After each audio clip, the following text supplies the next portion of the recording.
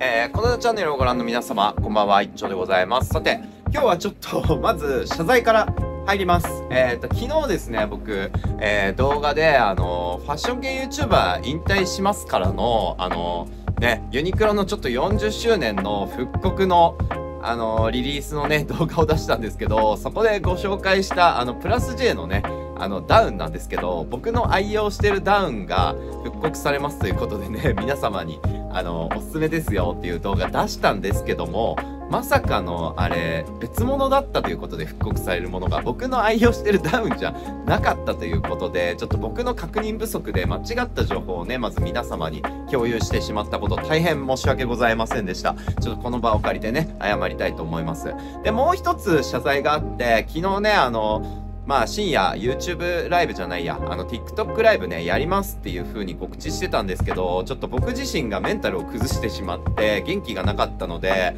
あのちょっとこの元気のない状態でライブ配信するのもなと思って、ちょっとライブ配信もできなかったので、それもちょっと重ねてね、謝罪したいなという風に思ってます。まあちょっと原因としては、結構僕ここ4回ぐらいですね、ちょっとあの、ホストクラブの来店予定が、あの、当日に潰れてしまうという経験を、まあ、4回、4回連続でしてしまいまして、まあ、結構ね、TikTok 配信を始めてからですね、あの、いっちょさんにちょっと会ってみたいということでご連絡いただいて、あの、ね、実際に来店予定ができて、そう、僕も結構、やっぱ、TikTok ライブで、あの、実際にね、こう、コメントですけども絡ませていただいて、そういう人たちとお会いできるのすごい楽しみな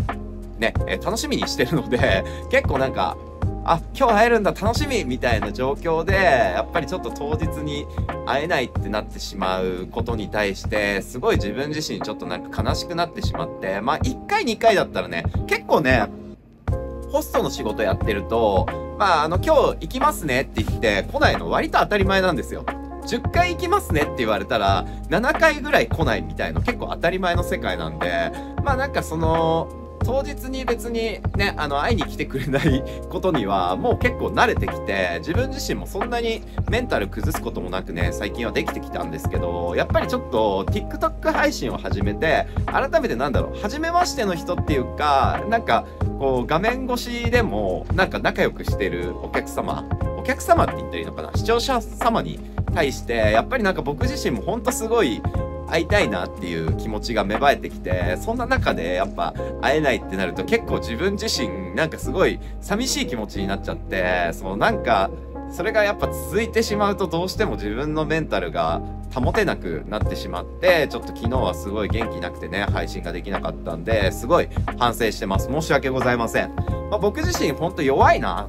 って感じていてまあやっぱりまあもちろんねこうなんだろう。こうやってメンタル崩すことありますけど、まあ、まずそんなことでメンタル崩してたらダメだなっていう。なんかメンタル崩すのはいいけど、やっぱりすぐにそこでメンタル崩して自分のなんだろう、やるべきことをやれない自分がすごい悔しくて。もう昨日はね、だから早く寝てね、早くもう反省して、今すごい元気になりました。やっぱりなんだろうな、こう、引きずってもしょうがないというか、メンタル落としてる時の自分って本当に行動力もなくなってしまうし、なんかやっぱり人にホストって仕事は僕はね、あの人に元気を与えたり、明日も頑張ろうっていう気持ちにさせてあげる仕事だと思ってるんで、そういったなんか仕事をしている人間がなんか元気がなくなってしまうって本末転倒だなと思って、ちゃんと僕自身やっぱりどんな状況でもしっかり人に元気を与えるように、なんか楽しく自分自身も過ごしていきたいなって思うし、営業中もね、みんなに楽しい気持ちにさせてあげられるような人間になりたいし、なんかそういう人間になりたい、ね、僕がなんか、こう皆さんの前でやっぱり元気のない姿を晒してしまったりするのも本当に申し訳ないなと思ってライブ配信はやんなかったけど、まあ、まずそういう風に元気ない状況に陥っちゃったことが本当ダメだなと思って。なんか今後も多分こういうことってたくさんあると思うんだけどけどなんかそんな中でも自分自身やっぱりメンタルを崩さないようにねちゃんとコントロールしていきたいしまあやっぱこういう経験がを積み重ねて人は強くなっていく。からなんかやっぱねどっかでねこうああ会いに来てくれなかったななんかなんだろうちょっとそれをお客さんのせいにしちゃうというか視聴者さんのせいにしちゃう部分もあって自分自身。なんかなんで約束守ってくんないのっていう風に思っちゃう自分もいたんだよ。けどなんかやっぱりホストとしては、なんか僕はそこは、あの、来れなかったの多分体調不良とかね、いろいろあると思うんだけど、そういうところを心配してあげるのがやっぱホストだと思うし、なんかそこで、ああ、なんか会いに来てくれないんだって、なんかネガティブになってしまう、ネガティブに考えてしまう自分がすごい情けないなと思って。なんかもっと心配してね、声をかけてあげるべきだったなっていうふうに思うし、なんかホストとしてはまだまだ、なんか足りない部分がたくさんあるんだなと思って反省してるしね。なんかやっぱりさ、世の中ってさ、何でも他人のせいにしてしまえばさ、なんかこう、それですっきりするけどさ、やっぱりなんか全部が全部他人のせいにしてたら、自分の中の成長はないし、やっぱり結局来てもらえなかったのって自分がしっかりとさ、お客様とコミュニケーションを取れてなかったっていうのもあるし、お客様のことを知らなかったっていうのもあるし、なんかいろんな原因があると思うんだよね。だからなんか自分自身もっとそういう人たちに来てもらえるようになんかもっと多分会いたいっていう気持ちを作れてたら会いに来てくれたのかもしれないし、うん、なんか本当に自分自身まだ足りない部分がいろいろあるんだなって。なんか他人のせいにしてたら多分もうそこで成長が止まってしまうというかそれ以上伸びしろないと思うけどやっぱり自分自身に足りないものにそういう人のせいにしないで自分自身のせいにして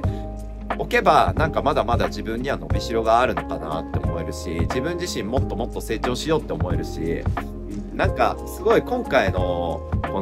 のネガティブにちょっとへこんでしまった状況を通してなんか自分はどっか他人のせいにして甘えてしまってるなってすごい感じたからなんか今後はやっぱもっと自分でなんか責任を背負っていかなきゃいけないと思うし他人のせいにするんじゃなくてやっぱ自分のせいにしてちゃんと自分自身がなんか成長していけるように生きていかないとなんかやっぱホストでね今お店ナンバーワンを取るのを目標にしてね今やってるけどなんかナンバーワンにもなれないと思うしうんなんかもっともっとね自分自身はホスト自体はお金のためにやってるわけじゃなくてやっぱナンバーワンにななれるぐらい自分自身がこう魅力的な男になりたいなって思ってるし魅力的な人間にもなりたいなって思ってやってるわけだからやっぱりなんか人に応援される人間じゃなきゃいけないし自分自身でも自分をちゃんとこう好きでいられる人間にならなきゃいけないし他人のせいになんかしてる時点でそういう男には人間にはなれないなっていう風に感じるからもっともっとなんかちゃんとそういうことを自分で背負って自分でちゃんとそういう経験をバネにしてもっともっと強くなりたいなって思う、えー、ね昨日は夜でした。なんでちょっと今日はねもうあの配信もすごい頑張りたいなっていう風に思うから、うん、まあ一応あの深夜もねちょっとあの夕あの夜の配信はあの同伴があるんでできないんですけど深夜の配信はねまたしっかり頑張りたいなっていう風に思ってるし、まあ、やっぱり僕自身は今ね配信をすることが多分一番こうお店のナンバーワンを取るためには必要なことでもっともっと配信を通していろんな人に知ってもらっていろんな人に会いたいなって思ってもらってそれでいて初めてさ僕は多分ナンバーワンになるっていうねなんかそのまあ現実？なんだ？ナンバーワンになれる道に近づけると思うからなんかやっぱ配信はサボっちゃいけないなと思うし常に配信は自分のチャンスだと思って全力で挑まなきゃいけないなと思うしね。なんか本当になんかへこんで配信をやらないって自分のためにもったいないことだからメンタルを崩さずちゃんと元気にしっかり自分をねあの常に保ってえーと、皆様にも元気を与えられるようにね、えー、毎日生きていきたいなというふうに思っております。なんでまあちょっと重ね重ねね、なんか反省ばっかりになってしまいましたけど、まあけどやっぱ反省できるっていいことだからね。なんか自分自身やっぱ反省がないと成長しないし、うん、なんか今回いろいろ 反省できることがあってよかったな。とりあえずなんか反省をもとにね、しっかり自分自身もっとダメなとこは変えて、なんか成長して、今後もっといい人間に、ね、なっていけたらなというふうに思いますので、ちょっと今回は謝罪の動画になってしまいましたけど、まあ、ネガティブな意味じゃなくて、本当ポジティブに、